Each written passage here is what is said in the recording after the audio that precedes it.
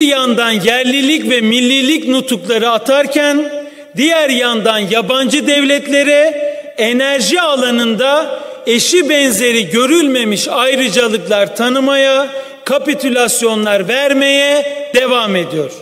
İşte bugün görüştüğümüz bu kanun teklifi de bu kapitülasyonların altyapısını hazırlamak için geliyor.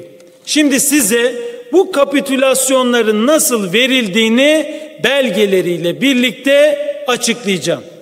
Değerli milletvekilleri, bugün buraya gelen kanun teklifine göre denizlerde ve göllerde Türkiye'de imar planı yapılmaksızın yenilenebilir enerji santralleri kurulabilir diyor.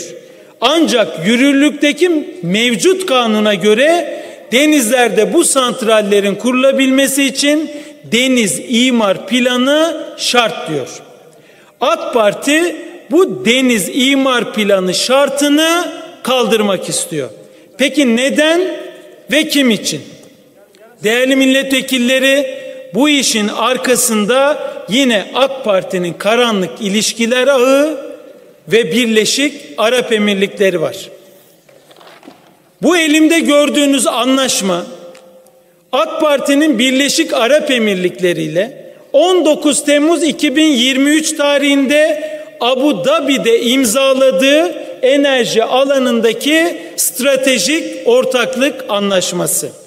Bu anlaşmanın ikinci maddesine göre Birleşik Arap Emirlikleri denizlerimizde 2500 megawata kadar deniz üstü rüzgar santralleri kurabilecek diyor. İşte tam da bu yüzden alelacele denizlerdeki imar şartı kaldırılmak isteniyor. AK Parti yine bir yabancı devlete ayrıcalık sağlamak istiyor. Dünya Bankası'nın hazırladığı haritaya göre Türkiye denizlerindeki rüzgar enerjisi potansiyeli haritasına göre Birleşik Arap Emirlikleri'ne ait bu 2500 megawattlık deniz üstü rüzgar santralleri Akdeniz'e kurulamayacak çünkü burada rüzgar potansiyeli düşük. Batı, Orta ve Doğu Akdeniz'e, Doğu Karadeniz'e kurulamayacak. Buralarda da rüzgar potansiyeli düşük. Gemi trafiği nedeniyle Marmara, derinlik nedeniyle İstanbul'un kuzey kısmına kurulamayacak ancak geriye bir tek yer kalıyor o da Ege Denizi. Birleşik Arap Emirlikleri'nin deniz üstü rüzgar santrallerinin kurulacağı yer Ege Denizi.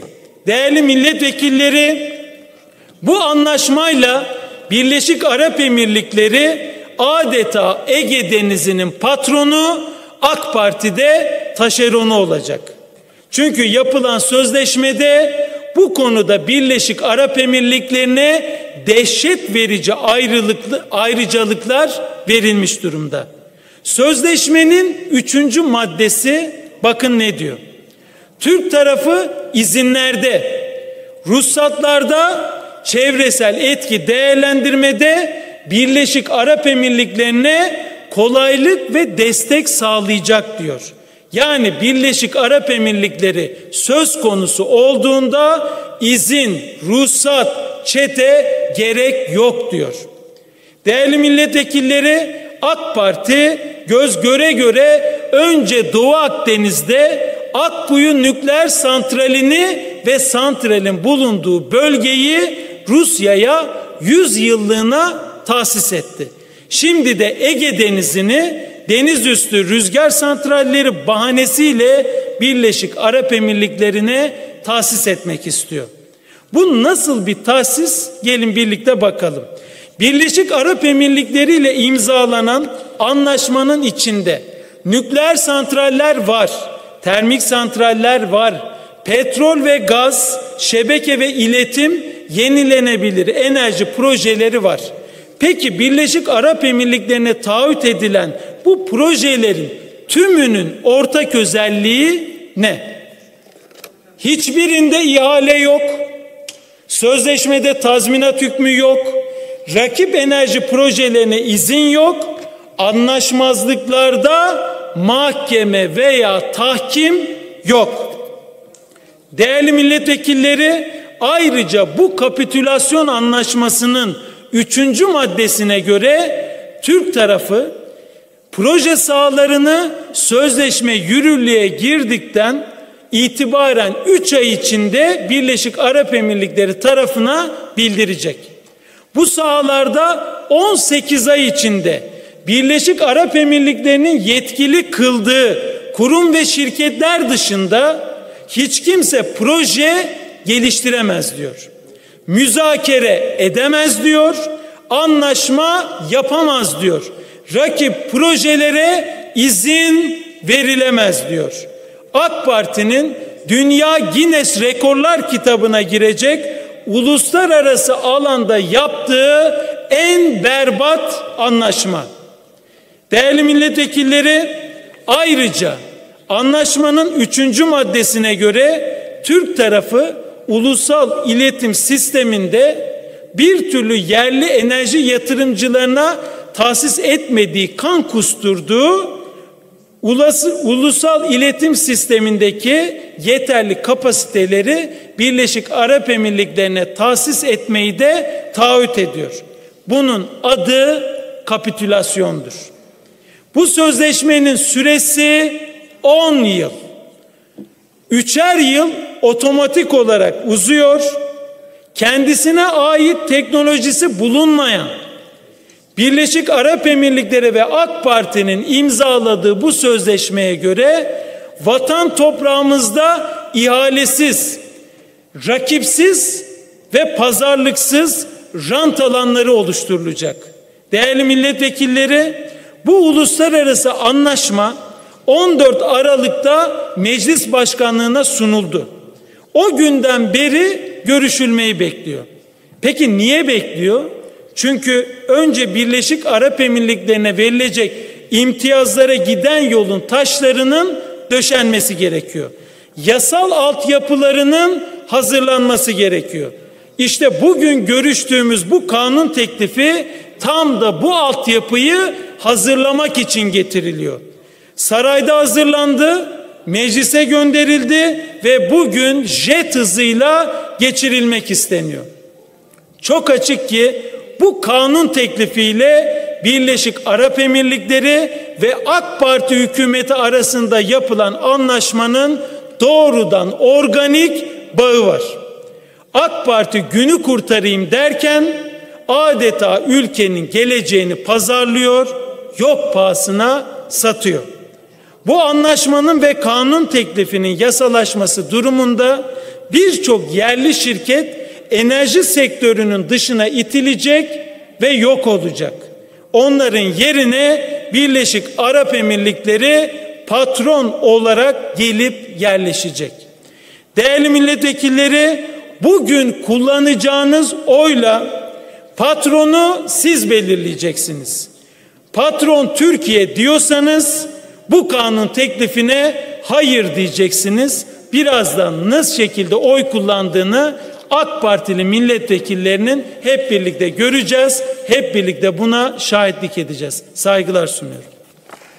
Sayın Başkan, değerli milletvekilleri, yerel seçimler öncesi meclis gündemine getirilen maden yasası Erzincan İliç'teki madende meydana gelen felaket sebebiyle geri çekilmişti.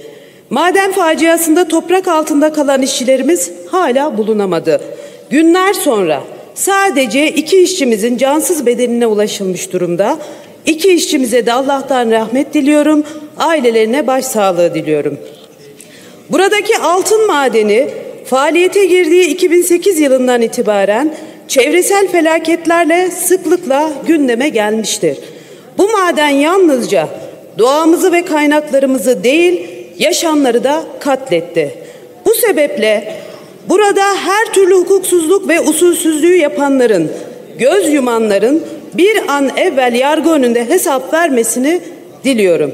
Değerli milletvekilleri, Türkiye haritasına baktığımızda tam 22 yıldır ülkemizin neredeyse her yerinde doğamız enerji yatırımları yapmak adına tahrip edilmiş ve buna da hızla devam edilmektedir. İşte önümüzdeki bu kanun teklifi de tam da bu amaca hizmet etmek için getirilmiştir. Madencilik faaliyetlerini zorlaştıran bazı uygulamaları da ortadan kaldırma hedefinde olduğunda da olduğunu da görüyoruz. Oysa ki orman alanları, tarım alanları, zeytinlikler, turizm alanları zaten yoğun bir tahribat altındalar. Bunun en acı itirafı da kısa süre önce Çevre Bakanı Sayın Özhaseki'den gelmiştir. Her tarafı yemyeşil, zümrüt gibi olan Anadolu coğrafyasını adeta talan ettik. Ağaçlarımızı yok ettik, ormanlarımızı da kel hale getirdik dedi.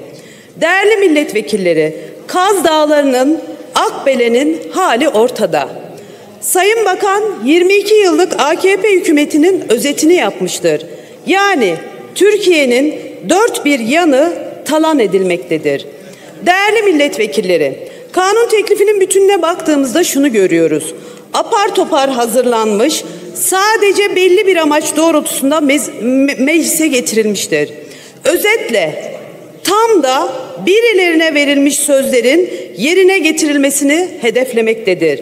Ne enerji sektörü temsilcilerine ne de Türk Mühendis ve Mimar Odaları Birliği'nin fikirlerine başvurulmadığı çok açık bir şekilde görülmektedir. Ancak Türkiye gibi ülkeler için üretimden tüketime düzgün ve sürdürülebilir bir enerji planlaması gerekmektedir. Çünkü enerjide dışa bağımlılığımızın yüzde yetmiş beşi geçtiği bir süreci yaşıyoruz. Önümüzdeki kanun teklifine bakıyoruz. Kamu yararını gözetmeyen, dışa bağımlılığı arttıracak, akıldan, bilimden, gerçekçi enerji politikalarından uzaktır. Bu teklifle Dışişleri Komisyonu'nda görüşülmesi beklenen Birleşik Arap Emirlikleri ile enerji anlaşmasının ön hazırlığının yapılmak istendiği de çok açıktır. AKP'nin ekonomik kriz nedeniyle acil olarak dışarıdan sıcak paraya ihtiyacı olduğunu da hesaba kattığımızda Birleşik Arap Emirlikleri başta olmak üzere yabancılara topraklarımızda rant alanları açıldığı da görülmektedir. Yine teklife baktığımızda yenilenebilir enerji kaynaklarından elektrik üreten santral sahiplerine dövizle alım garantisi verilmektedir. Bu durum, bu durum ise elektrik fiyatlarında ciddi artışları beraberinde getirecek ve vatandaşlarımızın faturalarına yansıyacaktır. Değerli milletvekilleri, bu düzenlemeyle imar planı yapılmaksızın doğal alanlar üzerine enerji tesisi kurulmasının da önü açılmaktadır. Kamu kurumları ve ilgili belediyelerin yetkisi altında olması gereken imar plan yetkileri ortadan kaldırılıyor. Kamuya ait kaynakların verimsiz kullanılması ve denetim yapılması, yapılmamasının da önü açılıyor. Yine teklifte sakıncalı bulduğumuz diğer bir madde nükleer maddelerin taşınması işine ilişkindir. Nükleer maddelerin taşınması işine dair sigortalama ve teminat yükümlülüğünün taşımayı yapacak üçüncü tarafa yükletilmesi de istenmektedir. Bilindiği üzere nükleer maddelerin taşınması süreci ciddi riskler barındırmaktadır. Seçim bölgem Mersin'deki Akkuyu Nükleer Güç Santrali projesinin atıklarının yönetimi konusu bile hala belirlenememiştir. Akkuyu Nükleer Sayın Kış lütfen tamamlayın. Ederim. Akkuyu Nükleer Santral AŞ'nin ve Rosatom'un bu konudaki yükümlülükleri belirsizken nükleer madde taşıma işinin üçüncü kişilere devri kabul edilemez. İşleten hukuki sorumluluktan kaçmaktadır. Nükleer madde taşınması sırasında doğacak zararlarla ilgili Türkiye işletenden hiçbir hak talep edemeyecektir. İşte bu nedenle 14. madde kanun teklifi metninden çıkarılmalıdır. Değerli milletvekilleri, ulusal çıkarlarımıza uygun, dışa bağımlılığı en aza indirgeyen, yerli, kararlı ve gerçekçi bir enerji politikasına acilen ihtiyacımız vardır. Türkiye enerjide kontrolü eline almadığı sürece dışa bağımlılığa da mahkumdur. Tüm bu nedenlerle Cumhuriyet Halk Partisi grubu olarak bu kanun teklifine karşı olduğumuzu bildiriyor. Genel kurulu saygıyla selamlıyorum. Sayın Kış teşekkür ediyorum. Kanun ile bazı kanunlarda değişiklik yapılmasına dair kanun teklif üzerine gelecek Saadet Grubu adına söz almış bulunuyorum. Burada zaman zaman kanunlar geldiğinde itirazlarımız oluyor. Bu itirazlarımızı geçenlerde kabul ettiniz. Onu teşekkür ediyorum. Bir turizmle ilgili kanun vardı, tur rehberleriyle ilgili. 11. maddede arabalarda, otobüslerde e, rehber bulundurma, tur rehberleri bulunma zorunluluğunu kaldırıyordunuz ve 14 bin kişi yaklaşık işsiz kalacaktı. Burada bir duyarlılık gösterdi muhalefet ve bu duyarlılıktan sonra da iktidar partisi de o duyarlılığa iştirak etti ve o madde kaldırılmıştı. Aynı şekilde bu emeklilere 5 bin lira verilmesi konusunda da çok konuştuk buralarda ama dinlemediniz. Daha sonra da söylediğimiz yere geldiniz. Olağanüstü olarak parlamentoyu topladığımız zaman buraya da gelmiştiniz. Ona da teşekkür ederiz. Geç de olsa geliyorsunuz. Bugün de bu kanunun birinci maddesi var. Bu birinci maddede madde ile kaynak ve rezerv depolamasının uluslararası standarda uygun raporlama zorunluluğu sadece dördüncü grup maden işletme ruhsatları için söz konusu oluyor. Bu doğru değil. Diğer grup maden işletme ruhsatları için zorunluluk kaldırılıyor. Bu zorunluluk diğer gruplar için de getirilmelidir. Aynı zamanda ruhsatlandırılan rezervler üzerinden alınan devlet hakkı gelirleri azalacak ve raporlama süreç, süreç, süreçlerinde de rol alan iş gücü işsiz kalacak. Eğer diğer gruplarda da bunu getirmiş olursanız hem bir yandan iş gücü işsiz kalmayacağı gibi yeni istihdam alanları oluşturmuş olacağız hem de raporlamayla beraber de devlet buradan bir gelir elde etmiş olacak. O nedenle biz Gelecek Saadet Grubu olarak bu maddenin ya düzenlenmesini veyahut da kanundan çıkartılmasını teklif ediyoruz. Diğer bir hususa gelince değerli milletvekilleri maden yasasını konuşuyoruz. Nedir madenlerimiz bizim? Türkiye maden zengini bir ülke. Burada bu madenleri çıkartacak olan insan kaynaklarımıza ihtiyacımız var. Zorunlu olarak insan kaynaklarımızı çoğu zaman kaybettik. Darbelerle kaybettik, savaşlarla kaybettik, terör unsurlarıyla kaybettik. En son yine bir darbe girişimiyle kaybettik. Ama buradan aynı zamanda da biz liyakat ve ehliyeti ve aynı zamanda zekayı ve yeteneği arka plana atarak burada aynı zamanda Türkiye'yi kıraçlaştırıyoruz. Yani çoraklaştırıyoruz Türkiye'yi. Nedir bu? Söyleyeyim size. Emniyet Genel Müdürlüğü'nde geçenlerde bir sınav yapıldı. Bu sınav ne sınavıydı? Bir, bu sınavda bir e, yardımcı hizmetler sınıfı insanlar bir meslekte statü atlayacaklar ve aynı zamanda da e, görevde yükselme sınavı olacak. Bu görevde yükselme sınavı ile ilgili yazılıya girmişler. Kaç almışlar biliyor musunuz? AK Parti milletvekilleri size sesleniyorum. Elinizi vicdanınıza koyun lütfen. Sayın Cumhurbaşkanı'na sesleniyorum. Sayın Cumhurbaşkanı, siz seçimler öncesi dediniz ki mülakatı kaldıracağız. Bunu söylediniz. Eğer söylediysem bakanlarımla konuşacağım dediniz. İki bakanla. Kim bu? İçişleri Bakanı ve aynı zamanda Milli Eğitim Bakanı. Diğer yerlerde mülakat yok mu? Var oralarda. Onlarla da konuşmanız lazım. Bakın söylüyorum. Bu sınavda 98.75 almış. Birinci, ikinci, üçüncü, dördüncü ve beşinci. Ve aynı zamanda 50'ye yakın kişi çok ciddi puanlar almışlar. Ben bir akademisyenim. Ve bu insanlar mülakata girmişler. Emniyet Genel Müdürlüğü, burası Emniyet Genel Müdürlüğü. Yani hukuku inşa edecek olan birim. Bu insanları niye mülakattan elediniz? Bunlara niye 65 verdiniz, 60 verdiniz? Bunlar insan değil mi? Ve Türkiye'de bu mülakat kaldırılmadığı süre içerisinde asla liyakat ve ehliyeti inşa edemezsiniz.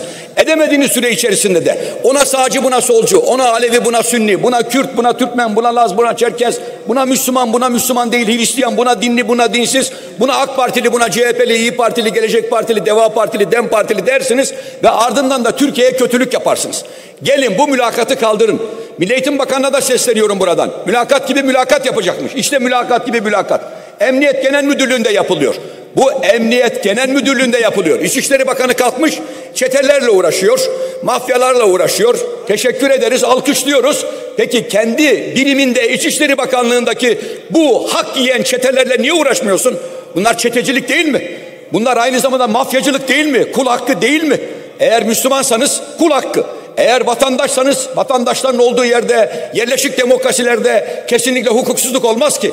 Keyfilik olmaz ki. Orada liyakat, ehliyet olur. Orada ahlak olur. Orada zeka olur. Orada yetenek olur. Ama olmuyor burada. Bunun sonucunda ne oluyor? Türkiye çok ciddi şekilde kan kaybediyor. Gelin hep beraber bu mülakatları kaldıralım. Sadece ve sadece KPSS yeterli olsun. Sadece ve sadece güvenlik soruşturması yeterli olsun. Türkiye'de hemen hemen her birimde Aynı şikayetleri duyuyoruz biz. İçişleri Bakanlığı'nda böyle, polis alımlarında, öğretmen alımlarında, Milli Eğitim Sayın Sayın Özdağ lütfen tamamlayalım. Başkanım teşekkür ederim. Bunlar Türkiye'nin çocukları. Şimdi geliyoruz burada her yıl müfredat değiştiren, matematik başta birçok temel bilgiyi müfredatlardan kaldıran, eğitim sistemimizin ocağına kibrit suyu döken zihniyete gelince, yaptığım paylaşım ve açıklamalardan alınganlık göstereceğinize, bu milletin çaresiz, yoksul ama başarı çocuklarının yenilen haklarının sorumluluğunu da üstünüze alsanız nasıl olur? Kendi eş, dost ve akrabalarınıza yaptığınız kayırbacılıkları da talep etmiyor bu insanlar. Sadece haklarını istiyorlar. Aslında biz çok iyi biliyoruz ki mülakat gibi mülakat yapacağız diyenlerin ve ona sufle veren anlayışın hakkıyla bir mülakat yapacağına inanmak hakikati haksızlıktır. Yapmayacaksınız biliyoruz ama milletimize sesleniyoruz. O millete seslendik ve o millet 31 Mart günü bir ders verdi. Bir sarı kart gösterdi ve koyu bir kart gösterdi size. Tekrar sizi uyarıyoruz son kez olarak.